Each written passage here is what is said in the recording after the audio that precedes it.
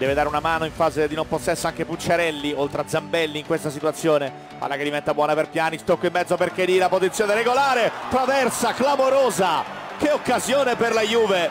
Grandissimo lancio da parte di Pjanic, la disperazione di Chedira. Eh sì, perché ancora una volta molto bravo, qui non si alza a sufficienza, l'abbiamo detto prima. Quadrado che se ne va via Pasquale, Quadrado, Quadrado, Quadrado. Skorupski, tra l'altro Skorupski era rimasto in porta in maniera abbastanza incomprensibile.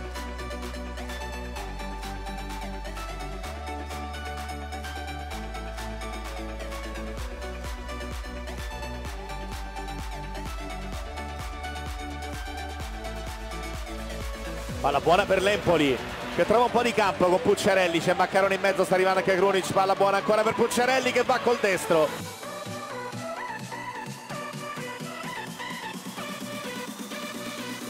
Palla buona per Dybala che prova a servire ancora Quadrado, l'uno contro uno sempre con Pasquale Quadrado, Skorupski.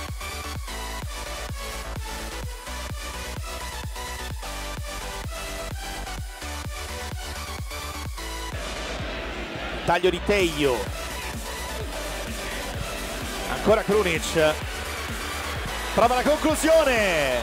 E salva Buffon occasione per le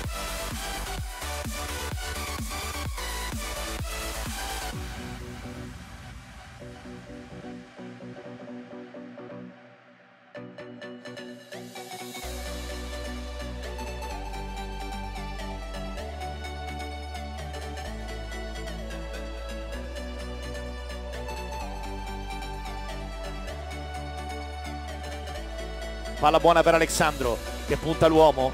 Adesso c'è Zambelli su di lui palla dentro di Bala! Eccolo qui il vantaggio della Juve. 1-0 Juve con Dybala minuto 64 scatenato e assolutamente spietato sotto porta sì perché Alessandro fa una grandissima Palla buona per Higuain che prova a salire, Higuain lavora bene questo pallone, Higuain, Higuain! 2-0 Juve, primo gol in trasferta di questo campionato e nel giro di tre minuti crolla la diga e la Juve mette il match in cassaforte.